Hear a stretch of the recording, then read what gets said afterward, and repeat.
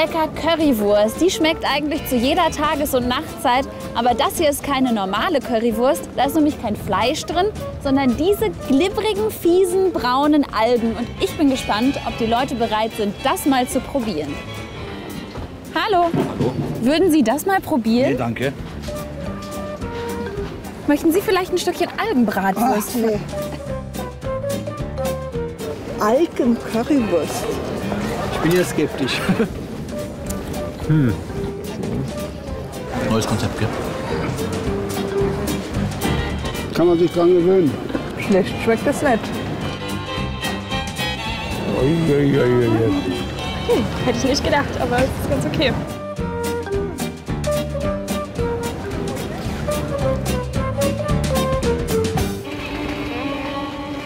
Nee, schmeckt mir gar nicht und schmeckt mir auch nicht wie gewusst. Und ähm, warum traut sich die Mama eigentlich nicht? Ich bin eher für die richtige Bratwurst. Danke. Können Sie sich das in der Küche vorstellen? Ich kann mir das vorstellen, aber mein Mann nicht. Und? Es ist gut, es schmeckt mir. Schmeckt nicht schlecht. Schmeckt wirklich nicht schlecht. Oh, dann nehme ich auch gerade noch eins. Schmeckt nicht nach Algen. Also es schmeckt gar nicht so nach Wurst. Weit weg von Wurst, aber lecker. So gut wie ihm hier hat es heute noch keinem geschmeckt, aber doch die meisten haben irgendwie alle mal probiert zumindest. Und bevor hier gleich noch das letzte Stückchen weg ist, sichere ich mir auch noch mal eins. Hm, gar nicht so schlecht. Ja, so sehen die Algen aus, bevor sie verwurstet werden. Aber das ist nur eine Algenart von sehr, sehr vielen. Und den richtigen Überblick hat natürlich unser Gast. Herzlich willkommen, Professor Peter Kruth, Biologe an der Uni Konstanz und leidenschaftlicher Algenforscher. Ähm, also beruflich sind Algen Ihre Leidenschaft. Wie sieht es aus mit dem kulinarischen Aspekt? Äh, geht da auch die Liebe durch den Magen und Sie stürzen sich auf Algen? Äh, ja, unbedingt. Also Algen sind natürlich ein ganz tolles Lebensmittel, das man äh, ja, in vielen, äh, vielen Lebensmitteln auch mit reinbaut letztendlich. Und äh, hier so in der Wurst, warum nicht? Es gibt natürlich einen gewissen Extrageschmack und äh, von daher ähm, finde ich so eine tolle Sache. Das geht natürlich nicht mit jeder Alge. Hm. Wie viele Algenarten gibt es denn überhaupt? Ja, der Begriff Alge an sich ist, ist ein sehr vager Begriff, weil der beinhaltet sowohl die Cyanobakterien, die Bakterien sind, wie eben alle anderen Algen, die dort noch mit reinpacken. Man sagt also, im Endeffekt sind alles das Algen, ähm, die im, ähm, primär im Meer leben, im Wasser leben und äh, Photosynthese betreiben. Aha. Und äh, an Arten schätzt man so 30.000 bis 40.000 verschiedene Arten, äh, wobei es sicherlich noch viele gibt, die man noch gar nicht kennt. Also an Land gibt es auch Algen, aber die bezeichnet man dann nicht so? Doch, die sind auch, die sind dann sekundär quasi an Land und äh, leben dann dort. Also ist sicherlich jedem schon mal begegnet, an Häuserwänden zum Beispiel, die so ergrünen oder auf Dächern und so weiter. Also auch da gibt es viele ähm, Algen, die auch an Land leben und dann dort das bisschen Wasser, das sie zur Verfügung haben, entsprechend nutzen. Kommen wir auf jeden Fall noch darauf zu sprechen, auch darauf, wo überhaupt Alge drin versteckt ist, wo man so gar nicht dran denkt in den alltäglichen Produkten. Äh, aber vielleicht vorher noch mal die Frage, ist, da es ja keine Wurstalge gibt, welche Alge eignet sich denn besonders gut, um, um, um Wurst zu imitieren? Oder welche war da in diesen Currywürsten zum Beispiel? Naja, in den Currywürsten, das waren natürlich schon Würste, in die man Algen zugesetzt hat. Ne? Das heißt, in dem Fall hat man ein Stückchen von, von Algen damit reingepackt. Also das wäre hier zum Beispiel ähm, so eine Braunalge könnte man nehmen in kleinen Stücken und dazu packen. Ähm, ein Kollege von mir in Frankreich ist jetzt, ähm, hat damit angefangen, ähm, ein Rezept für einen Rüblikuchen, einen Schweizer Rüblikuchen zu nehmen und dann dort Algenstücke mit reinzubacken. Also er ist ähm, Wissenschaftler in Frankreich, in der Bretagne und äh, hat sich da mit einem lokalen Bäcker zusammengesetzt und hat dann, dann ein Rezept entwickelt. Und jetzt steht er samstags auf dem Markt und verkauft Algenkuchen und der geht relativ gut weg, wie man hört. Also das ist dann tatsächlich wegen des Geschmacks. Genau, es kommt zusätzlicher Geschmack hinein. Man sagt häufig bei Algen, das schmeckt so ein bisschen nach Fisch irgendwo. Ähm, aber eigentlich müsste man sagen, der Fisch äh, oder die, die ähm, ähm, der Fisch schmeckt eigentlich nach Alge, weil letztendlich also die, die Fische Algen fressen und damit eben vor allem auch die Fettsäuren aufnehmen und so weiter, die dann letztendlich den Geschmack ausmachen. Das kann ich mir total gut vorstellen. Dazu schöne Portion Schlagsahne und einen Kaffee, wenn es in Kuchenform vorliegt. Toll. Wir haben seinerzeit mal den, äh, einen der Pioniere auf dem Gebiet des äh, Wurstmachens aus Alge oder mit Alge besucht. Er hat sich seine Wurst sogar patentieren lassen. Was da vor sich hin köchelt, sieht verdammt gesund aus. Algen. Und wenn es nach diesem Mann ginge, dann wären die im Norden längst das Grundnahrungsmittel Nummer eins. Er weiß, Algen enthalten jede Menge Jod und Selen und dann ist da noch was. Ich mag den äh, Salzwassergeruch, den Nordseegeruch. Äh, man, man, fühlt sich, als wenn man an der Nordsee oder an der Ostsee ist. Und das ist einfach äh, für mich unschlagbar. Lange hat Remy Böttcher rumprobiert, um die Vorzüge der Alge dem Otto-Normalverbraucher näher zu bringen. Toll wie immer. Hierzulande sind Algen nur was für Kenner. Geht nichts über Meeresalgen. In jeder Form. Nur wie bringt man Norddeutsche dazu, sowas zu essen? Beim Wurstschneiden kam ihm die Idee. Würstchen, ein typisch deutsches Produkt. Würstchen, die kennt jeder. Allerdings, gesund ernähren kann man sich damit wohl kaum. Fettig, salzig, aber. Verdammt, jeder isst Würstchen, jeder mag Bratwurst, Wiener Wurst, Currywurst. Versucht doch einfach mal ein Produkt herzustellen, wo die Meeresalge untergebracht wird. Warum also nicht einfach aus Algen eine gesunde Wurst herstellen? Eine Algenwurst. Acht Jahre lang wurde Böttchers Küche zur Versuchsküche auf der Suche nach einer Rezeptur für Algenwurst. Dann war es soweit. Die ersten Algenwürste gingen in Produktion. Seine lang gereifte Idee setzte er gemeinsam mit Fleischermeister Heiko Meyer aus Bispingen in die Tat um.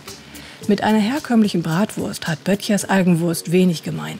Statt Fleisch enthält sie Getreide, Gewürze und eben Algen. Hm. Tja, inzwischen ist das auch gar nicht so exotisch mehr.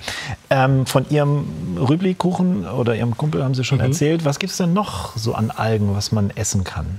Naja, also in der, Asiat in der, asiatischen Küche kann man die Algen sicher gar nicht mehr wegdenken. Mhm. Da ist es ja schon sehr, sehr lange, also auch ein Grundbestandteil häufig als Gemüse oder viele kennen natürlich auch mittlerweile äh, Sushi, was ja so einen Eroberungszug durch die Welt gezogen hat, sodass es jeder kennt. Das sind im Endeffekt also diese, äh, diese grünen Matten, die da außen herum sind um das Sushi. Das sind im Endeffekt auch Rotalgen, äh, die dann da verwendet werden. Also es sind sehr viele Lebensmittel, die so langsam auch eben nach Europa schwappen und genutzt werden. Vor allem in Frankreich ist es auch sehr wird es sehr häufig genutzt. Jetzt haben wir gehört, in der Wurst war der Gesundheitseffekt vielleicht nicht so groß, aber ähm, ansonsten sind Algen doch eigentlich sehr gesund, ne? weil sie sehr nährstoffreich sind. Ähm, naja, ich würde sagen, Algen haben nicht allzu viel mehr Nährstoffe als, ähm, äh, als sagen wir mal, normales Gemüse, das man zu sich nimmt. Ähm, von daher äh, muss man jetzt nicht unbedingt auf Algen ausweichen, um mehr Nährstoffe oder, zu sich zu nehmen.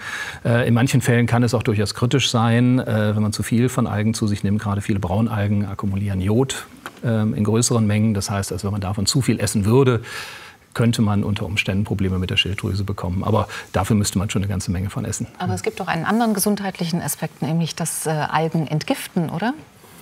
Äh, auch das ist äh, nicht wirklich bewiesen. Also da gibt es relativ wenig äh, wirklich Nachweise, dass das wirklich äh, hilfreich ist. Aha. Und wie sieht es aus mit äh, Umweltgiften? Sind Algen besonders belastet? Ähm, Umweltgifte, das hängt natürlich davon ab, wo die Algen geerntet werden. Das heißt, wenn also bestimmte Gebiete, in denen sie geerntet werden, äh, entsprechend belastet sind, dann ist es natürlich ein Problem. Da denke ich vor allem jetzt äh, im japanischen Bereich, in Fukushima und dergleichen, wo halt in bestimmten Meeresküstenabschnitten einfach sehr viel ähm, zum Teil radioaktive Substanzen ja auch vorliegen, die dann natürlich eingebaut werden und die dann natürlich das belasten dort. Das heißt, dort könnte man auf keinen oder sollte man auf keinen Fall natürlich äh, entsprechend Algen ernten. Also das Schwierige ist natürlich, dass es da keinen Barcode gibt oder keinen Stempel. Das heißt, man weiß nicht, wenn man solche Algen kauft, wo sind die jetzt eigentlich her? Ganz genau. Es gibt viele Produkte, auch Nahrungsergänzungsmittel, die man im Internet kaufen kann.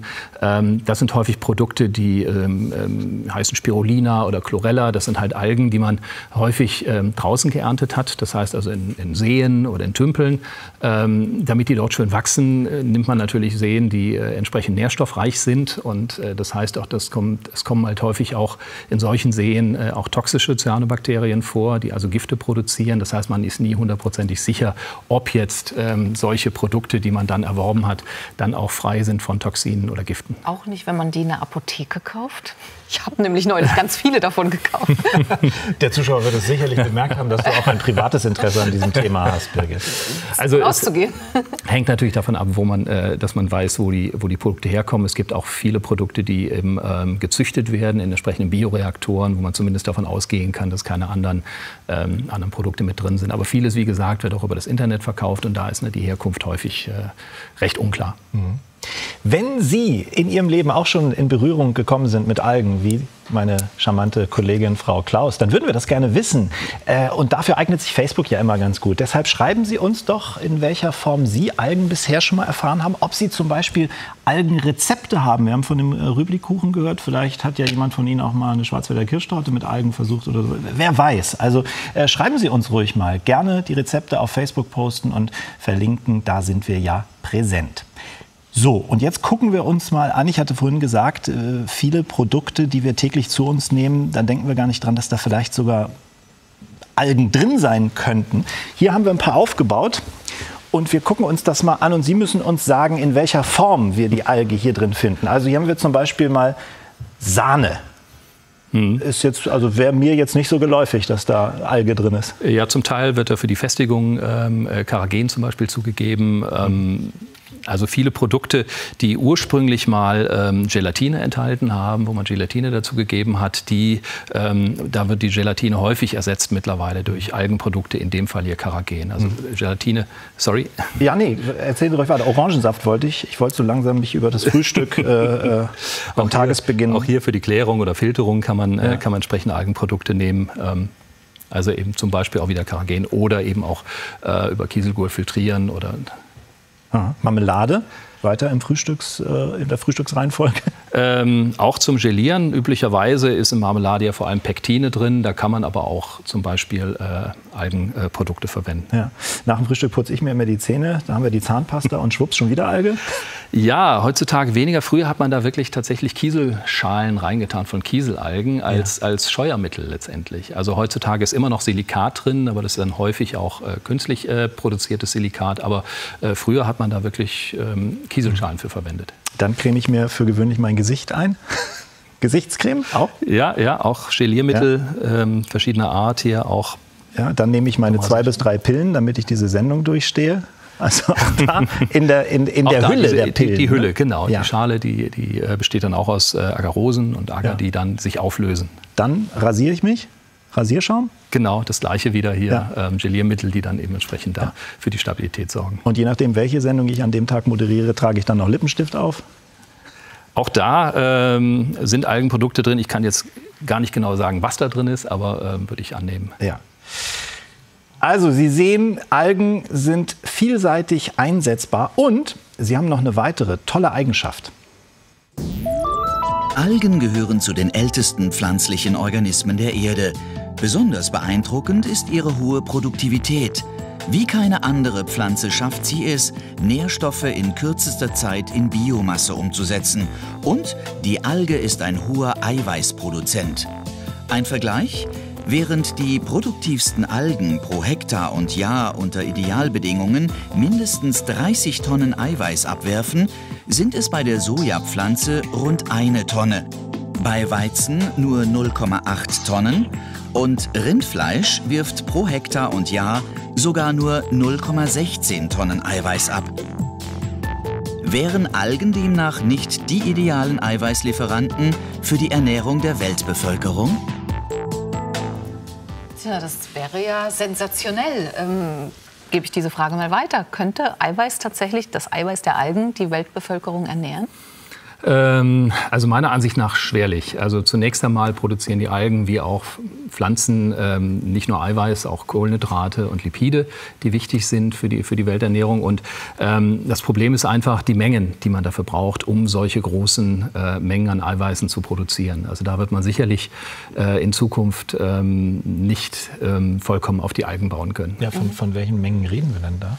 Also, äh, genaue, Zahlen, genaue Zahlen kann ich Ihnen da jetzt auch ja. nicht sagen, aber Sie können sich überlegen, wie viel, äh, wie, viel, äh, wie viel Mengen jetzt zum Beispiel an, wenn es um Eiweiße geht, durch Soja produziert wird. Und die mhm. gleiche Menge an Biomasse müsste man durch Algen produzieren. Und das bedeutet wiederum, dass man diese Algen entsprechend kultivieren muss oder ernten muss, je nachdem, ob man Marikultur macht im Ozean oder ob man eben ähm, in Bioreaktoren arbeitet. Äh, und das sind eben sehr, sehr große Mengen. Und da ist eben auch, sagen wir mal, die Anbaufläche, die man dafür nutzen kann, für die Marikultur zum Beispiel, begrenzt. Denn ja, man hat bei so einem riesigen Meer. Der Ozean, der kommt einem natürlich sehr groß vor, der ist auch sehr groß, aber man kann natürlich solche Makroalgen äh, zunächst mal nur im Küstenbereich kultivieren. Die setzen sich un, an, am Boden fest zum Beispiel und ähm, würden dann entsprechend nur im dichteren Bereich entsprechend äh, nutzbar sein. Mhm. Und wenn man in großen Mengen dann dort Algen entnehmen würde, würde man natürlich auch die ganzen Ökosysteme in den Ozeanen natürlich auch entsprechend äh, in Ungleichgewicht bringen. Und wenn man in diese Richtung denken möchte. Welche der Algen, es gibt ja so viele, wie wir vorhin gehört haben, könnte man dafür nehmen? Welche eignen sich überhaupt?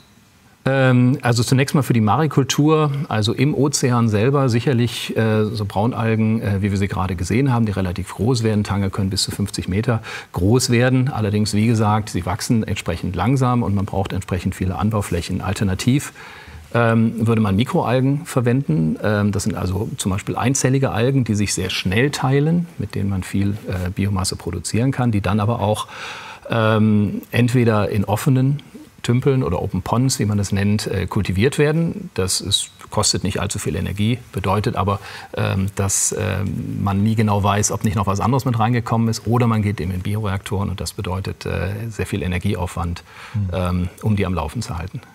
Im Film wird ja gerade eindrucksvoll gezeigt, wie produktiv Algen sein können. Was sind denn die Idealbedingungen, dass die so, also wie wachsen Algen am besten? Sie haben gerade schon gesagt, im Küstenbereich.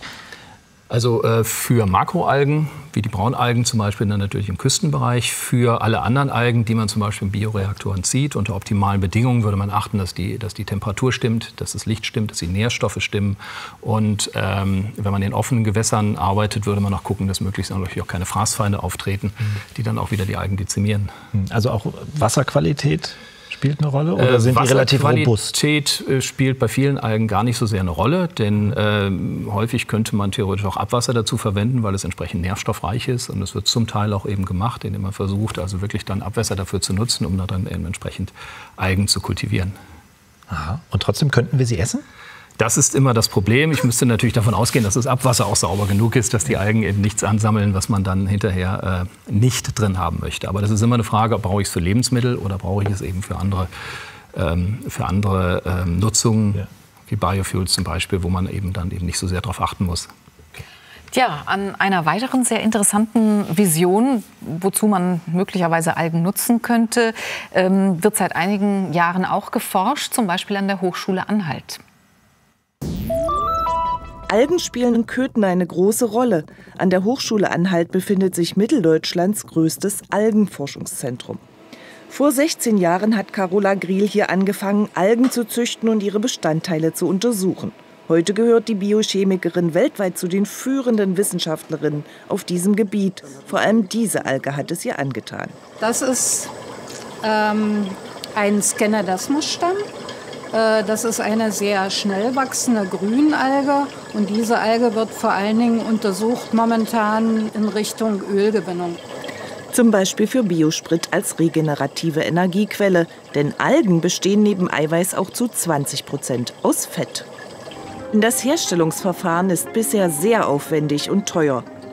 Mit dieser in Köthen entwickelten Algentankstelle verkürzt man den Prozess und macht Zwischenschritte überflüssig. Eines Tages werden unsere Erdölreserven alle sein. Wenn man aber neue Wege geht, wie ähm, die Extraktion von Ölen während der Kultivation, dann ist das aus meiner Sicht vorstellbar, dass man da eine Lösung schafft. Das klingt doch eigentlich vielversprechend und nach zukunftsweisender Forschung. Sehen Sie das auch so? Äh, Im Prinzip natürlich erstmal ja. Also es sieht ganz toll aus. Ich meine, man hat eine Alge, man, äh, die braucht im Endeffekt Licht, die braucht ein bisschen CO2 und äh, damit kann sie Biomasse produzieren. Und äh, von daher, ähm, und viele von diesen Algen machen dann auch noch Öle. Das heißt, also, wo man dann entsprechend ähm, dann äh, theoretisch Benzin draus machen kann oder Gas draus machen kann, das man da nutzen kann. Also von daher ist es erstmal primär ganz toll. Das Problem ist einfach, dass ähm, das heutzutage immer noch so energieaufwendig ist. Wir haben das gerade gesehen. Ähm, diese Kultur in Bioreaktoren, das ist, äh, kostet viel Energie. Man muss sie sauber halten, man muss, sie, ähm, äh, man muss entsprechend Licht dazugeben, hinterher die Algen ernten, aufreinigen. Ähm, und da verbraucht man einfach noch sehr viel Energie, sodass es sich bislang noch nicht rechnet. Mhm. Also das heißt, ähm, bislang ist auch noch nicht damit wirklich experimentiert worden. Es gibt noch keinen Bio-Algentreibstoff. Den gibt es eigentlich schon. Also ja. man hat tatsächlich schon äh, vor zehn Jahren ist bereits schon ein Flugzeug mit, äh, mit Algen-Biosprit geflogen. Ähm, Im Prinzip geht das. Es ist halt nur alles sehr teuer und energieaufwendig. Das ist das Problem. Mhm. Wie realistisch ist es denn, ähm, dass Biosprit eines Tages, wenn man es vielleicht schafft, das eben nicht mehr so energieaufwendig mhm. zu produzieren, dass es dann tatsächlich großflächig zum Einsatz kommt?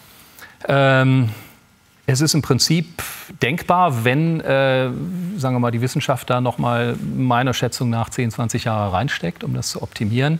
Ähm, ist es durchaus denkbar. Momentan bräuchte man, um halt, äh, was weiß ich, den äh, Benzinbedarf von Deutschland zu decken, äh, über Bioreaktoren müsste man einmal komplett Schleswig-Holstein mit Bioreaktoren äh, zu decken, damit da man ausreichend äh, Masse hat. Die Frage ist, wir kommen natürlich irgendwo auch an eine biologische Grenze. Wie weit können wir ähm, Algen so weit optimieren, auch heutzutage genetisch, ähm, dass sie dann so optimal, äh, so optimal produzieren und nicht dann irgendwann das biologische System auch limitierend ist. Mhm. Da hätte ich natürlich als Schleswig-Holsteiner was dagegen, dass unser Land komplett mit Bioreaktoren dicht gepflastert wird. Ähm, kommen wir mal zum, zum klimatechnischen Aspekt. Algen binden ja CO2, aber wenn man mhm. sie dann wieder verfeuert, würde man ja auch das CO2 wieder freisetzen. Ist das dann nicht eine Nullnummer? Äh, ja, aber eine Nullnummer ist ja eigentlich auch eine tolle Sache, wenn man sich überlegt, dass wir im, im, anderen Fall ja im negativen Bereich sind. Das heißt, was normalerweise ja passiert, ist, dass wir fossile Brennstoffe aus dem Boden holen und verbrennen. Mhm. Das heißt, sie sind vorher da unten und dann verbrennen wir sie und das CO2 geht in die Luft. Das heißt, es wird immer mehr, was letztendlich den Klimaeffekt ja auch antreibt. Und äh, wenn wir Algen oder Pflanzen ganz genauso verwenden für diese Zwecke, dann binden wir vorher das CO2 über die Photosynthese äh, fest machen daraus Biomasse. Wenn wir das hinterher wieder verbrennen, bringen wir das CO2 wieder zurück in die Luft. Wir vermindern es nicht, aber zumindest erhöhen wir es nicht im Gegensatz zu den fossilen Brennstoffen. Können denn Algen grundsätzlich äh, so viel CO2 binden, dass es klimarelevant wird oder werden würde, wenn wir sie im großen Stile anbauen würden? Ähm, das Problem ist, was wir dann mit der Biomasse machen hinterher. Natürlich könnten Algen so viel CO2 binden, aber wir müssen natürlich diese Biomasse dann so weit wegschaffen, dass sie nicht wieder zum Beispiel durch Bakterien und so weiter wieder in CO2 umgewandelt wird. Also man hat äh, eine ganze Zeit lang daran gearbeitet, ähm, zu versuchen, zum Beispiel CO2 in den Boden zu pumpen, äh, um dann dort eben äh, das quasi aus der Welt zu schaffen, in Anführungsstrichen, also tief in den Boden rein. Ähm, das stockt momentan so ein bisschen, weil es eben sehr sehr, sehr aufwendig ist und vor allem die Mengen, die man da loswerden würde an CO2, ähm, viel äh, geringer sind als das, was man täglich hier ähm, produziert und wieder in die Luft bläst. Also von daher ähm, würden Algen nur quasi die Zunahme des CO2s verringern können oder als Ersatzstoff gelten, wenn eben keine fossilen Brennstoffe mehr da sind. Apropos Klima, das Klima, dem wir Menschen ja mehr oder weniger unsere Existenz, unser Leben verdanken, ähm, das Klima wäre ohne Algen gar nicht so möglich.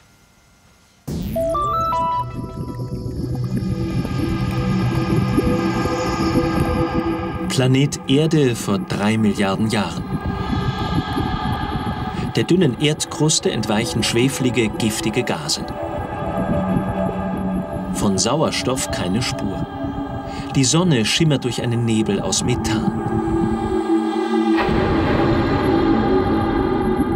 Leben findet sich nur in der Nähe heißer Quellen. Winzige Organismen nutzen hier energiereiche Stoffe zum Überleben. Doch auf einmal entwickeln sich Bakterien, die das Wasser grün verfärben und die Sonne direkt als Energiequelle anzapfen. Sie nutzen einen biochemischen Prozess, der das Leben auf der Erde grundsätzlich verändert, die Photosynthese. In kleinen Bläschen bilden Bakterien und Algen mit Hilfe dieses Prozesses Sauerstoff.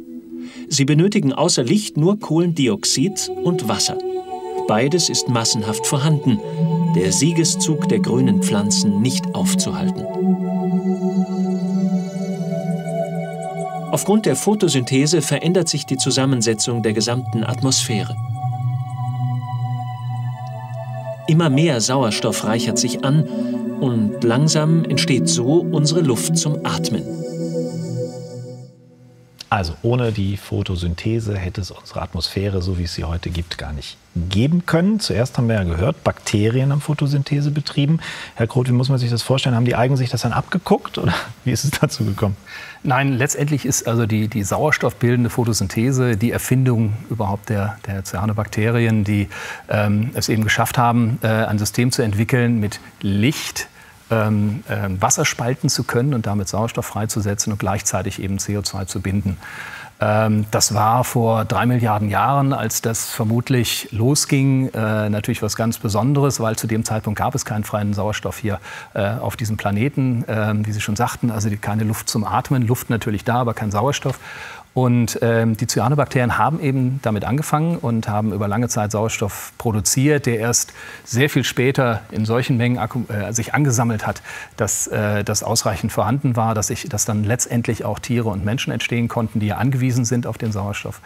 Und äh, viele Algen, die wir als Algen kennen, haben das quasi geklaut von den Cyanobakterien, indem sie nämlich die Cyanobakterien aufgenommen haben. Mhm. Das waren also Zellen, die haben dann einfach Cyanobakterien verschluckt und haben die dann versklavt quasi aufgenommen. Und jetzt machen halt diese ehemaligen Cyanobakterien als Chloroplasten in den, in den, äh, in den Algen äh, die Photosynthese für die Zelle und werden dementsprechend versorgt dann halt von der Zelle. Also ist die Alge sowas wie die, wie die Urpflanze auf unserem Planeten? So kann man sagen, ja. Mhm. Welche bedeutende Rolle spielen eigentlich ähm, Algen in den Ozeanen heute für das Ökosystem? Äh, ein ganz wichtiges. Ähm, da gibt es zum einen natürlich den Punkt, dass die, dass die Algen an der, an der Basis der Nahrungskette stehen. Also alle Organismen, die im Ozean leben, leben davon, dass es Algen gibt, die eben dann wiederum Biomasse produzieren mit Hilfe des Lichtes. Ähm, aber dann produzieren eben auch ähm, alle Algen äh, in den Ozeanen äh, zusammen genauso viel Sauerstoff wie alle Pflanzen an Land, also inklusive des Regenwaldes. Also daran kann man schon sehen, also die Bedeutung der Algen in, den, in allen Gewässern ähm, ist eben schon ganz herausragend für, ähm, für die ähm, Prozesse, die ähm, Kreisläufe auf, auf diesem Planeten. Was kann man denn äh, aufgrund des Zustands der Algen in den Ozeanen ablesen, auch über das Gewässer, über die Qualität der Gewässer? Ähm, zum einen gibt es tatsächlich ähm, für viele Gewässer, wenn man jetzt zum Beispiel Bäche oder Flüche, äh, Flüsse anschaut, gibt es ähm, Indikatororganismen, an denen äh, man das festmachen kann. Äh, man macht derzeit auch größere Inventuren im Ozean, wo man dann also äh, mit Schiffen rausfährt und ähm, sich anschaut, welche Organismen da findet. Das ist ein Traumjob für Wissenschaftler. Da werden große Segelboote gemietet und dann fährt man einmal um, um den Globus, sammelt Wasser, filtriert das Wasser und extrahiert das Erbmaterial daraus und sequenziert das dann alles. Der Vorteil dieser Methode ist, die jetzt am Anfang so ein bisschen brachial erscheint, ähm, dass man ähm, die Organismen finden kann oder sehen kann zumindest, deren Spuren, die man nicht kultivieren kann. Es gibt nämlich viele Organismen, die in, äh, im, zum Beispiel im Ozean sind. Wenn ich die da raushole und versuche, die ins Labor zu holen, wachsen die nicht. Das heißt, die sehe ich dann nicht mehr. Und auf die Art und Weise kann man auch diese Organismen finden oder sich eben auch anschauen, welch, äh, anschauen welche Organismen kommen gemeinsam in bestimmten Bereichen vor, die möglicherweise dann auch miteinander interagieren. Kann man auch erkennen, inwieweit sich die Weltmeere erwärmen anhand der Algen, anhand des also Zustands ja, der Zustand Oder des Wachstums ändert ja. sich, ja. Ähm, also Erwärmung führt häufig ähm, auch zu, äh, zu Vermehrung von Algen, ähm, wenn entsprechend Nährstoffe vorhanden sind. die Klimaveränderung hat ganz drastische Auswirkungen auf die Ozeane. Zum einen ist da die Temperatur, die dafür sorgt, dass eben Organismen Probleme bekommen. Ganz klassisches Beispiel die, das große Coral, äh, ähm, Barrier Reef in Australien, die Korallenriffe, ähm, bei denen wir da, ähm, bei denen die äh, Algen, die dort beteiligt sind mit den Polypen, dann äh, diese Interaktion gestört werden, die dort absterben. Äh, und das andere ist die Versauerung, das heißt mehr CO2 in der Luft bedeutet auch, dass sich also quasi im, im Wasser sich Kohlensäure bildet und diese Kohlensäure zu der Erniedrigung des pH-Wertes führt. Und das heißt also, der pH-Wert in den Ozeanen sinkt beständig. Und auch das führt bei Organismen zu Problemen, die eine Kalkschale haben. Können sich, äh, vielleicht haben Sie das Experiment schon mal probiert, äh, indem Sie ein Ei in Säure gegeben haben und sich die Eierschale aufgelöst hat. Ganz ähnlich, wenn nicht ganz so drastisch natürlich in den Ozeanen und viel langsamer passiert das aber auch mit vielen Organismen, die Kalkschalen haben in den Ozeanen. Also Algen sind auf jeden Fall vielfältige Überlebenskünstler und wir wollen Ihnen jetzt mal ihre erstaunlichsten Fähigkeiten zeigen. Algen eroberten die Erde vor 3,5 Milliarden Jahren. Sie sind vielgestaltig und allgegenwärtig. Hier unsere Favoriten. Auf Platz 5 die trockenste. Der Lebensraum der Algen ist eigentlich das Wasser, aber es gibt Ausnahmen. Dazu gehört die Alge Nostoc flagelliformi. Sie kann sogar in den trockensten Wüsten überleben. In China gilt sie als seltene Köstlichkeit. Auf Platz 4 die coolste. Die Kieselalge Fragilariopsis cylindrus. Sie lebt in einem der extremsten Lebensräume der Erde, im Eis der Polarmeere. Wie sie dort Kälte bis zu minus 30 Grad Celsius überlebt, ist ein Rätsel. Auf Platz 3 die bescheidenste. Die Kalkrotalge gehört zur Gruppe der Corallinaceae. Ihr gelingt es noch dort zu überleben, wo es stockdunkel ist, in Meerestiefen bis zu 200 Metern.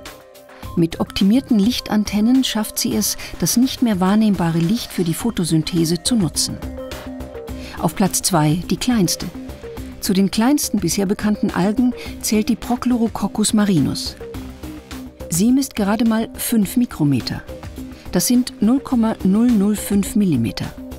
Im Labor gezüchtet könnten in einem Milliliter, also in 0,001 Liter Wasser, bis zu 10 Milliarden der Mikroalgen Platz finden. Auf Platz 1 die ungewöhnlichste. Sie trägt den Namen Croococcidiopsis. Sie kann fast überall überleben und sogar wachsen. Selbst unter unwirtlichsten Bedingungen setzt sie durch Photosynthese noch Sauerstoff frei. Wissenschaftler sehen in ihr den idealen Organismus, um damit auf unbelebten Himmelskörpern wie dem Mars Atmosphäre zu schaffen und ihn belebbar zu machen. Wirklich erstaunliche Fähigkeiten. Was, was macht denn die Alge eigentlich so vielseitig und äh, vor allem auch so anpassungsfähig? Äh, jetzt könnte man es sich einfach machen und sagen, ja, die gibt es halt schon so lange und deshalb äh, haben die sich ihre Nischen gesucht, um sich da besonders anzupassen. Das wäre vielleicht eine Möglichkeit. Ähm, der andere Punkt ist, dass natürlich Algen ähm, ja, sich über diesen Zeitraum ganz vielfältig entwickeln konnten und äh, verschiedene Formen bilden konnten, ob es einzellige oder vielzellige Algen sind.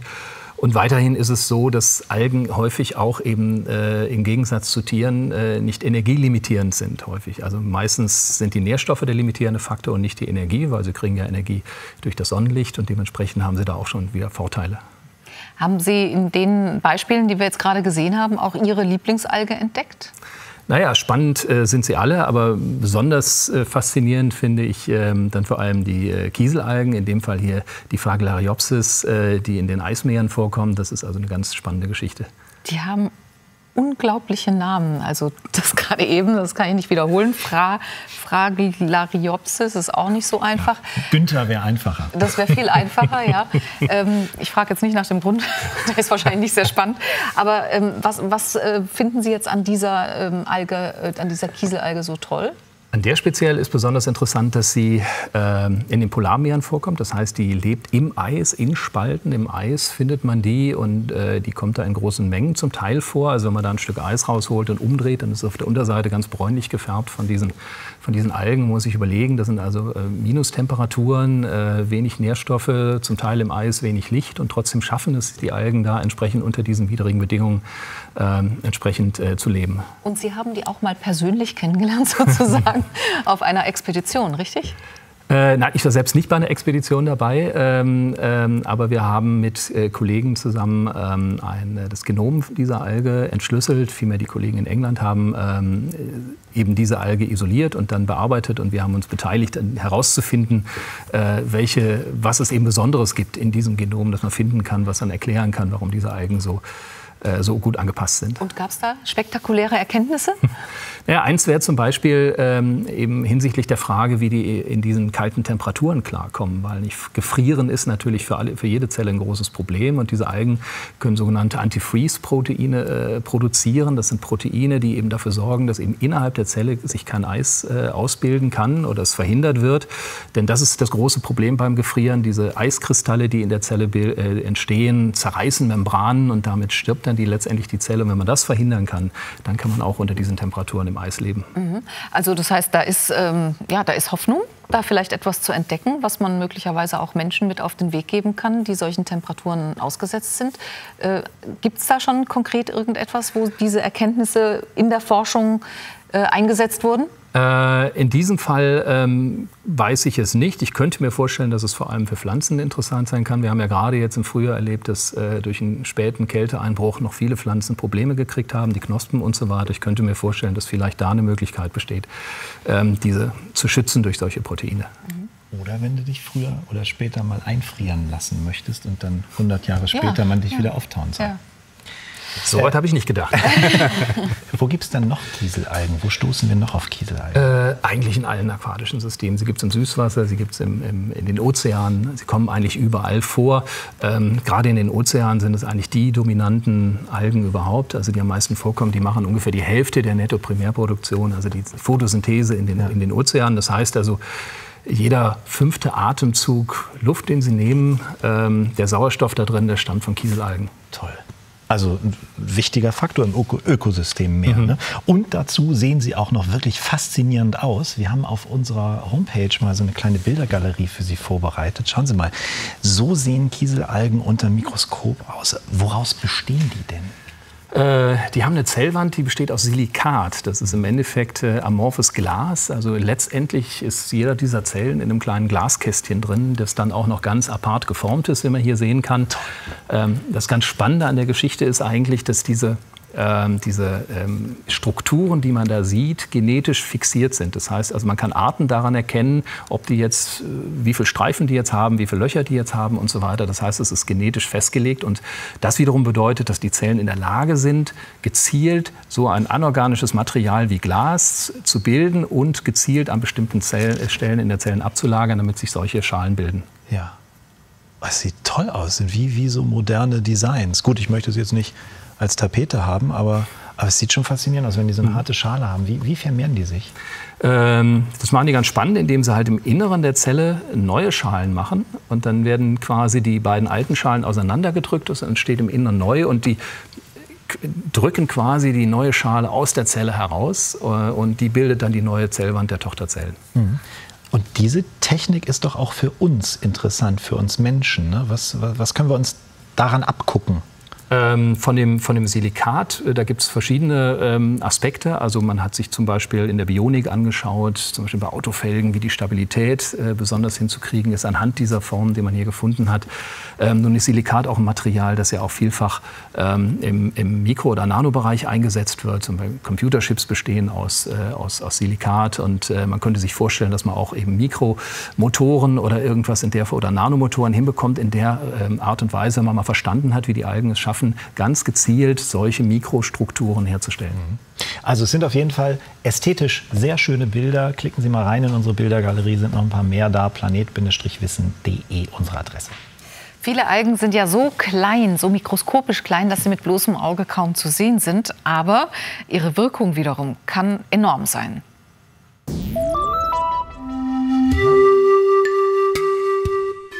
Elegant und majestätisch wirkt ihr Flug. Wunderschön ihr rosa Gefieder. Ein spezielles Farbpigment verleiht den Flamingos ihr charakteristisches Aussehen. Ein sogenanntes Carotinoid, das die Flamingos in salzhaltigen Lagunen oder Seen über ihre Nahrung aufnehmen. Die stark rötliche Färbung in diesem Salzsee geht auf so ein Carotinoid zurück. Dieses Pigment wird von der Grünalge Dunaliella salina produziert – Sie gedeiht hier prächtig und ist die Lieblingsspeise von einem kleinen Salinenkrebs mit Namen Artemia. So kommt auch der kleine Salzkrebs an das Pigment. Er speichert es in seinem Körperpanzer. Die Flamingos am Ende der Nahrungskette filtrieren vor allem Salinenkrebse, aber auch die Grünalge Dunaliella aus salzhaltigem Plankton heraus. Aber was ist das? Warum sind diese Flamingos hier fast weiß? Ah, hier gibt's Nahrungsergänzungsmittel, künstliches Carotinoid, das Cantaxanthin, das wird dem Flamingofutter beigemischt. Zu wenig Farbpigment also. Na klar, im Zoo gibt es ja keine Mangroven mit Salzkrebsen und Grünalgen. Beta-Carotin über Paprika oder Karotte im Futter hilft beim Flamingo einfärben auch. Aber das ist natürlich alles nichts gegen das Naturpigment der Grünalge Dunaliella. Ja, es sieht natürlich schön Färben aus. Sie sich Ihren Flamingo, wie Sie möchten. Ja, also, aber es sieht schön aus. Ne? Also ich meine, man erwartet natürlich irgendwie so einen roten oder pinkfarbenen Flamingo. Aber ist das jetzt äh, einfach nur schön oder hat dieser Farbstoff auch irgendeine gesunde Wirkung auf die Tiere? Äh, Also meines Wissens hat es auf die Flamingos jetzt keine direkte Wirkung. Es hat eine Färbung. Man kennt das äh, ja durchaus auch von kleinen Kindern, wenn man die ähm, mit Möhren füttert am Anfang, dann bekommen die ja auch leicht, zum Teil eine leicht orangefarbene Gesichtsfärbung. Das ist dann nicht so schön, finde ich. aber nicht kritisch. Und Nee. äh, von daher ist es einfach eine Einlagerung von Carotinoiden. Und das ist erstmal ähm, für die Flamingos kein Problem, aber sicherlich, ich sehe jetzt auch keinen, keinen wirklichen Vorteil. Für die Algen ist es, die es produzieren, das kann es ein Vorteil sein, ähm, weil häufig solche Carotinoide ähm, Schutzpigmente sind gegen zu viel Licht- oder UV-Strahlung. Und ähm, das heißt, die machen dann viel Carotinoide, die äh, absorbieren das UV-Licht und sorgen dann dafür, dass eben das UV-Licht möglichst wenig Schäden dann auch im Genom verursachen. Gibt es denn noch weitere solche Beispiele in der Natur? Ähm, auch Lachs zum Beispiel, der ja so eine schöne orange Farbe hat, hat sie vor allem dadurch, dass er eben Algen frisst und dementsprechend äh, dadurch äh, auch Carotinoide aufnimmt. Also auch äh, Zuchtlachs wird dann auch mit Caro- Carotinoiden versehen, beziehungsweise auch mit entsprechenden Algen gefüttert, ähm, damit er dann auch die entsprechende Farbe hat. Sonst wäre er weiß, Eher weißlich, ja, ja. Ah ja, okay. Sie haben uns was ganz Interessantes mitgebracht. Das äh, schwimmt hier in diesem Glas herum. Äh, müssen Sie uns erklären, was das genau ist? Sieht Ähm, aus wie eine grüne Schnecke. Das ist eine grüne Schnecke, und zwar mit dem äh, netten Namen Elysia. Diese Schnecken sind was ganz Besonderes, ähm, weil sie haben es gelernt, im Laufe der ähm, Evolution offenbar ähm, zeitweilig mal grün zu werden. Das heißt, sie fressen Algen und sie klauen sich quasi aus diesen Algen heraus. Das sind so spezielle Algen, die so schlauchartig sind. Deshalb äh, kann man die besonders gut anzapfen und da saugen die quasi die Chloroplasten drauf, nehmen die auf, werden dann ganz grün. Was dann bedeutet, dass sie eben ähm, nicht mehr fressen müssen. Das heißt, sie haben jetzt Algen, die für sie die, oder Chloroplasten letztendlich, keine Algen, ähm, die für sie Photosynthese machen, die sie versorgen. Und dann brauchen diese Algen ein paar Monate nicht mehr zu fressen. Und äh, sobald sie, äh, wenn sie ausreichend Licht genug haben. Mhm. Und was hat wiederum die Schnecke davon? Äh, Die Schnecke davon, ähm, die ist zunächst mal auf den ganzen Zeitraum hin nicht auf Nahrung angewiesen. Mhm. Nee, was Und- hat die Alge davon? Die Alge davon. Ja. Äh, die Alge ist eigentlich hier das Opfer dabei, ne? denn die Alge wird letztendlich gefressen und die, äh, die Schnecke nimmt die Chloroplasten auf. Also Mhm. von daher. Ich dachte jetzt, das sei so eine Art Symbiose, also dass der eine vom anderen äh, Ähm, profitiert. In dem Fall ist es eine Einbahnstraße. Das ist wirklich Aha. keine Symbiose, sondern wirklich äh, Nahrungsaufnahme, dass die ähm, normalerweise würden Schnecken die gefressenen Algen eben verdauen und als zur Nahrung verwenden und diese nehmen halt die Chloroplasten auf, werden grün und machen Photosynthese. Das heißt, wenn die jetzt nichts mehr zu fressen kriegt, die Schnecke, muss sie A wieder häufiger fressen und sie wird durchsichtig oder weiß? Oder? Wenn man sie, äh, wenn man ihr die entsprechende Alge vorenthält und, und wegnimmt quasi, dann wird sie sich wieder, wird sie ausbleichen, denn die Chloroplasten sind nur eine bestimmte Zeit lang haltbar. Ähm, weil es einfach nur Organellen und keine eigenständigen Zellen sind. Und dann wird sie wieder bleich werden und ähm, sich ganz normal ernähren müssen, wie alle anderen Schnecken auch. Das klingt wie zur Arbeit gehen müssen. Ja. Wo findet man denn solche, solche Schneckis außer bei Ihnen im Labor? Ähm, die findet man in ähm, Mariensystemen, also ähm, zumeist also an der, an der Küste von Amerika kann man die finden. Die speziellen stammen jetzt ähm, aus dem Mittelmeer. Mhm. Ist ja irre, habe ich noch nie gesehen. Nee. Kein Haus und nix. Nee. Fantastisch. Gut, also Algen können aber auch, und damit sind wir ähm, bei einem anderen Thema, zu einer richtigen Plage werden. Vor allem, wenn sie als so riesengroßer Teppich Küstenregionen heimsuchen. Mai 2016. Seit Wochen bietet sich an vielen Küstenabschnitten im Süden Chiles dieses Bild. Ein Massensterben von Fischen, verzweifelte Fischer, die um ihre Existenz fürchten.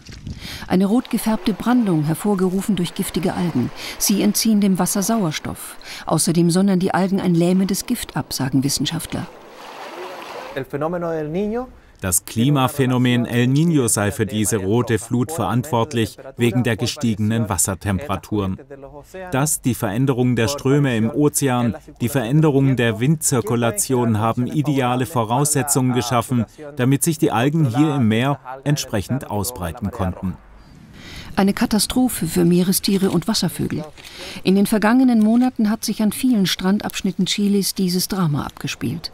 Auch große Meeressäuger sind dem zum Opfer gefallen. Hunderte Wale sollen im Süden Chiles verendet sein. Also das ist ja wirklich dramatisch. Kommen denn solche ja, also Algenplagen solchen Ausmaßes häufiger vor oder waren das jetzt besonders ungünstige Umstände in Chile?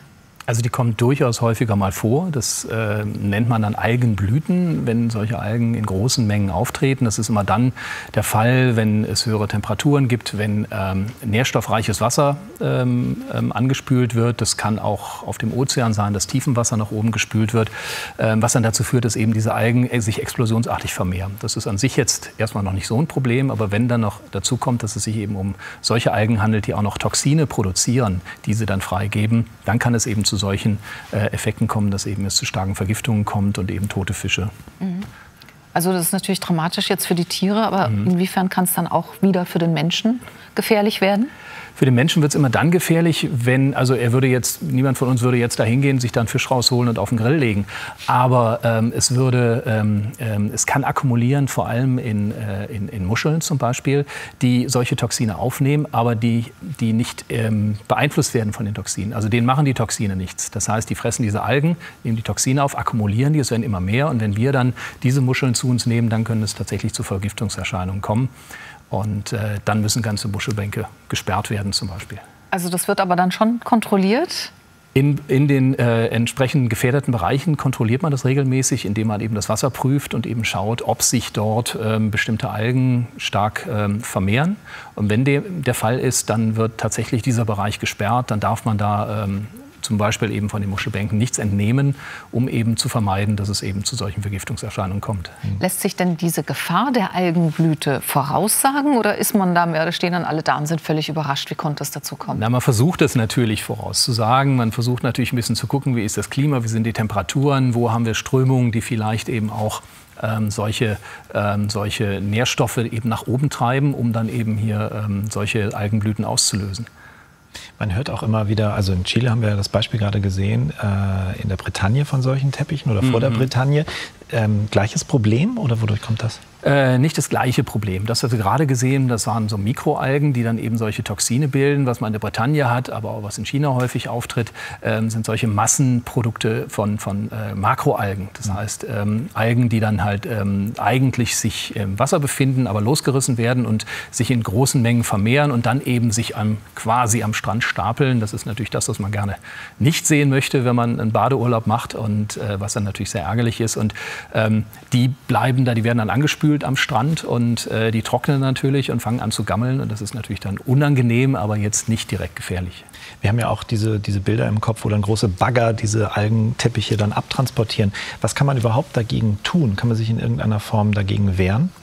Ähm, die im Küsten, diese, diese, diese großen Algenvorkommen im Küstenbereich haben häufig auch was damit zu tun, äh, mit ähm, Eintrag von Nährstoffen, zum Beispiel durch die Landwirtschaft oder eben durch ungeklärte Abwässer, die in Flüsse gehen, die dann in das Wasser reinkommen. Das kann häufig dazu führen, dass dann tatsächlich so viele Nährstoffe vorhanden sind, dass die Algen quasi explosionsartig sich vermehren, vor allem natürlich im Sommer, wenn es dann entsprechend warm ist. Ähm, da kann man eigentlich nur, das kann man nur vermeiden, indem man wirklich versucht, eben diesen Eintrag so gering wie möglich zu halten. Hm. Dann kommen wir jetzt mal von der großen, weiten Welt, von der großen Natur in die kleine Natur. Vielleicht hat der eine oder andere äh, von Ihnen zu Hause ein Aquarium. Auch da kennen wir ja dieses Algenwachstum oder das Bilden von Algen. Hm. Ähm, was kann man dagegen machen? Äh, da hat also erstmal vorbeugen. Also ähm, ich glaube, jeder Aquarianer weiß, dass man da möglichst äh, mit dem Futter vorsichtig sein soll, denn das ist genau das Problem, wenn man zu viel Futter, entweder zu viel Fische drin hat oder zu viel Futter auch drin hat, ähm, bringt man Nährstoffe ein, was natürlich das Wachstum fördert. Ja. Und äh, wenn ich einen Wettbewerb mache und ein Wettrennen zwischen den Pflanzen, die man da drin hat, die sehr schön aussehen, und den einzelligen Algen, die auch da drin sind, dann gewinnt immer die Alge. Das heißt, letztendlich ähm, bedeutet das, man muss eben in der Hinsicht vorsichtig sein. Und wenn man einmal so einen Algenbewuchs drin hat, dass die Scheibe von innen so grün ist, dass man also die Fische drin nicht mehr sieht, dann hilft eigentlich nur ausräumen und versuchen, alles rauszuspülen und ähm, dann wieder von vorne anzufangen. Welche Erklärung gibt es eigentlich dafür, dass dann immer die Alge gewinnt? Also warum kann die mit den Nährstoffen sich so unendlich häufig reproduzieren und andere Pflanzen können das nicht? Das hat was auch mit der, äh, mit der Einzelligkeit vieler Algen zu tun, die eben hier betroffen sind. Das sind viel, häufig einzellige Blaualgen oder Grünalgen. Die teilen sich einfach sehr häufig. Das heißt, eine, eine einzelne Zelle kann sich viel schneller teilen und äh, vermehren, als es jetzt eine Pflanze zum Beispiel kann, eine vielzellige Pflanze. Und deshalb ähm, schaffen die es einfach, sind die einfach schneller. Mhm. Wenn ich mir jetzt meine eigene Alge zu Hause züchten kann, um sie meinetwegen morgen, morgens unter das Müsli zu mischen oder was auch immer, geht das? Kann man das einfach tun? Ähm, Im Prinzip ja, äh, das kann man natürlich machen, aber das Problem ist natürlich, ähm, dass ich äh, nach einer Weile, wenn ich zum Beispiel äh, eine einzellige Alge kultiviere, eine Chlamydomonas zum Beispiel, eine Grünalge, weiß ich nach einer Weile auch nicht mehr, was da noch vielleicht noch so an Bakterien und so weiter rumschwimmt. Das heißt, wenn man zu Hause ein steriles Labor in der Küche hat, dann kann man das sicherlich machen. Hm. Ansonsten würde ich das lieber sein lassen. Also wenn man vielleicht an der Küste lebt, da wäre es die Möglichkeit, dann morgens mal eben rauszugehen, ein bisschen Makroalgen, Braunalgen zu holen und die kann man sich dann ins Müsli schnibbeln. Da ja. braucht man sich keine Gedanken machen. Da kenne ich durchaus Leute bei mir in der Nähe, in der Nähe von Kiel an der Ostsee, die das tun. Nein, Nein, auf keinen Fall.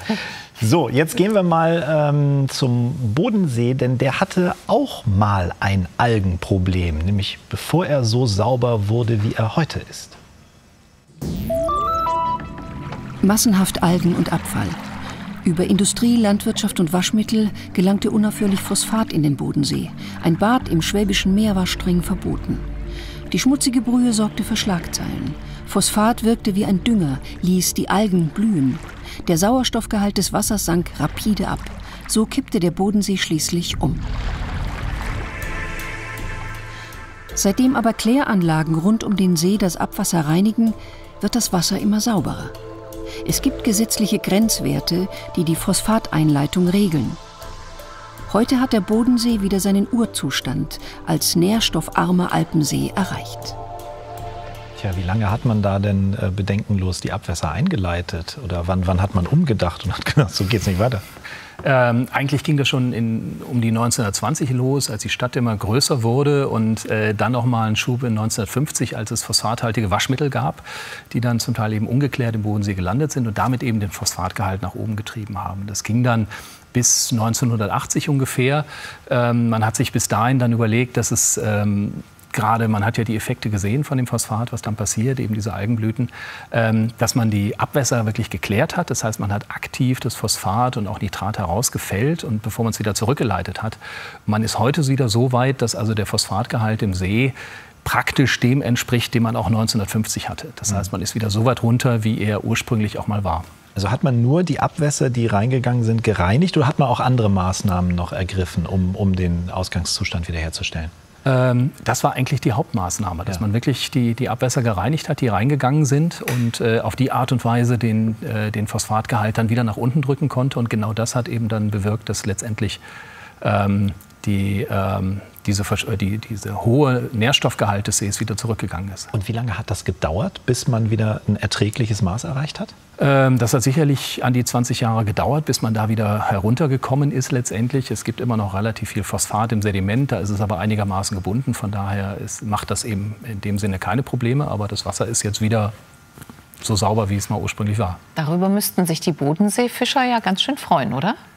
Tun sie gerade nicht, das ist das Problem. Denn äh, ein sauberer See bedeutet natürlich wenig Algen und dementsprechend ähm, wenig Futter für die Fische. Das heißt, die Bodenseefische sind natürlich überhaupt nicht glücklich darüber, dass, äh, dass der ähm, Nährstoffgehalt so niedrig ist, weil es einfach, die Fische werden letztendlich immer kleiner. Ne? Waren sie in den 80er, 90er Jahren richtig schön fett, sind sie jetzt eben entsprechend klein, weil ähm, wenig, wenig äh, Nährstoff vorhanden ist. Gibt es dann Überlegungen, möglicherweise doch wieder mehr ähm, ja, Abwässer da einzuleiten, damit wieder mehr Algen kommen und die Fische was zu fressen haben? Ähm, also Abwässer sicherlich nicht, aber es gibt tatsächlich immer wieder Vorschläge, äh, den Phosphatgehalt künstlich wieder etwas zu erhöhen. Das ist richtig. Ähm, man muss das mit sehr viel, meiner Ansicht nach, mit sehr viel Vorsicht genießen, weil der Bodensee natürlich in dem jetzigen Zustand, er ist ein Trinkwasserspeicher für viereinhalb Millionen Menschen. Das geht bis hinter Stuttgart, bis nach Heilbronn rauf wird das Wasser gepumpt äh, auch als Naherholungsgebiet oder auch Fernerholungsgebiet im weitesten Sinne ähm, besonders wichtig ist. Und wenn wir jetzt wirklich anfangen, da entsprechend wieder äh, den Phosphatgehalt zu erhöhen, ähm, werden wahrscheinlich wieder Probleme kommen, die man, äh, die man früher hatte. Ein wichtiges Problem könnte zum Beispiel sein, dass ähm, giftige Cyanobakterien, die man in nährstoffarmen Gewässern, wie der Bodensee jetzt ist, normalerweise eben nicht findet, ähm, dann wieder zurückkommen könnten, sodass dann auch möglicherweise auch wieder das, äh, das Trinkwasser gefährdet wäre.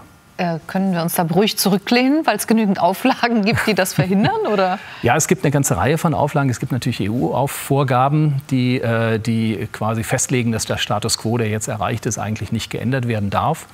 Ähm, außerdem gibt es noch eine internationale äh, Gewässerschutzkommission für den Bodensee, die IKGB, die also wirklich sowohl die deutschen, die österreichischen schweizerischen und die liechtensteinerischen Interessen dann auch vertritt und auch die Haltung hat, dass man eigentlich möglichst jetzt nicht an dieser Schraube dreht. Also ich gehe mal davon aus, dass es da vor Ort ganz schön viele Diskussionen gibt. Äh, zwei Lager wahrscheinlich, Pro und Contra, also die Fischer gegen den Rest natürlich. der Welt. Das ist natürlich, äh, natürlich verständlich. Für die Fischer ist es natürlich eine Existenzgrundlage, das ist ganz klar. Aber die Wissenschaftler beschäftigen sich auch intensiv mit, ähm, äh, gerade an der Universität Konstanz, intensiv mit der Frage, äh, wie der See sich verändert, nachdem er also über diesen starken Nährstoffanstieg wieder zurückgeführt wurde auf den ursprünglichen Bereich. Es kommen verschiedene Aspekte hinein. Es ist zum Beispiel so, dass äh, die Fältchen ja, die Fische sind eigentlich, die, äh, für die der Bodensee bekannt ist, dass die ihre Eier in ganz tiefen Bereichen legen des Sees. Und äh, wenn der Nährstoffanteil äh, wieder steigen würde, dann würde der Bereich, wo wenig Sauerstoff ist, nach oben kommen letztendlich. Und diese Eier könnten dann unter Umständen nicht überleben. Das wäre, hätte direkten Effekt natürlich auch auf die Fische selbst. Und ähm, es hat was zu tun mit der, mit der, der Klimaveränderung, die wir momentan haben. Die, äh, die Winter werden einfach wärmer und der See ist halt sehr tief. Und der mischt sich einmal nur im Jahr, wenn oben die Temperatur und die untere Temperatur gleich niedrig sind, dann mischt er sich einmal im Jahr durch und dann kommt Sauerstoff nach unten und Nährstoff nach oben. Das ist das, was man haben möchte. Wir hatten aber schon Winter in den letzten Jahren, die waren so warm, dass es eben nicht mehr zu einer Durchmischung gekommen ist. Das heißt, es kommt kein frischer Sauerstoff nach unten. Ein See in dem jetzigen Zustand kann das verkraften, einen Winter lang, aber ein See 1980, der hätte das nicht verkraftet.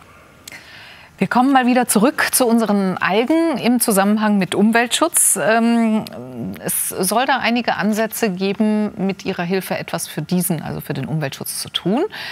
Wobei, müssen Sie jetzt mal selber beurteilen, ist es richtig oder falsch, was wir Ihnen da erzählen? In der Bretagne gibt es viele Algen und Plastikmüll wie in allen Meeren. Etwa 500 Jahre dauert es, bis herkömmliches Plastik abgebaut ist. Das brachte einen Ingenieur auf eine Idee. Aus Algen Kunststoff machen, das wär's. Und zwar Kunststoff, der sich zu 100 Prozent abbaut. Der Ingenieur machte sich ans Werk und experimentierte, viele Jahre lang. Bis er schließlich Erfolg hatte. Das Ergebnis ist ein Biokunststoff auf Algenbasis, der vollständig kompostierbar ist. Aus dem Algenkunststoff lassen sich zum Beispiel Verpackungen für Lebensmittel machen. Oder Brillengestelle. Oder Strandspielzeug. Richtig oder falsch? Tja, was meinen Sie? Haben wir Ihnen Bären aufgebunden oder gibt es das wirklich? Ich löse es auf. Es gibt wirklich, dieser Ingenieur heißt Remy Lukas und der hat 2010 äh, sogar ein Startup gegründet, hat sich seine Erfindung patentieren lassen und sogar ja, einige Preise dafür gewonnen. Also es war wahr. Herr Professor Kroth, es gibt ja viele Ansätze, biologisch abbaubare Kunststoffe zu entwickeln. Warum eignet sich jetzt die Alge Ihrer Meinung nach da vielleicht besonders? Äh, naja, also das äh, Prinzip, was da angewandt wurde, ähm, dass man also wirklich das ganze Algenmaterial verwendet von, von Makroalgen, also vor allem hier die Kohlenhydrate und die dann eben äh, chemisch so umwandelt, dass man dann Kunststoff rausbekommt, kennt man auch schon von Pflanzenmaterialien. Ähm, aber natürlich wäre das mit einer Alge natürlich ähm, von daher von Vorteil, weil man da eben äh, im Gegensatz zu Pflanzenmaterialien nicht mit Nahrungsmittelproduktion mhm. konkurrieren muss. Mhm. Das hat immer den Vorteil. Also wir haben ja jetzt über vieles gesprochen, was die Algen ähm, ja zu ganz ja, wertvollen und besonderen äh, Lebewesen macht. Haben wir noch irgendein Potenzial nicht erwähnt in dieser Sendung? Also ich denke, wir haben einen ganz breiten Bogen jetzt geschlagen um verschiedene Aspekte der Algen und ich denke, damit haben wir alles gesagt, was wichtig war. Sehr gut, dann bleibt uns nur noch zu sagen, klicken Sie sich ins Netz planet-wissen.de. Da finden Sie noch mal alles zu diesem Thema, können vor allem sich noch mal die Schönheit von Algen in unserer Bildergalerie angucken und denken Sie an unsere Facebook-Umfrage, wann sind Sie mal mit Algen in Kontakt gekommen? Haben Sie möglicherweise leckere Algenrezepte, die wir noch nicht kennen und die wir nicht erwähnt haben? Dann Her damit. Ja, da bin ich sehr interessiert dran. Ganz herzlichen Dank für Ihren Besuch bei uns und Ihnen fürs Zuschauen. Bis zum nächsten Mal. Tschüss. Tschüss.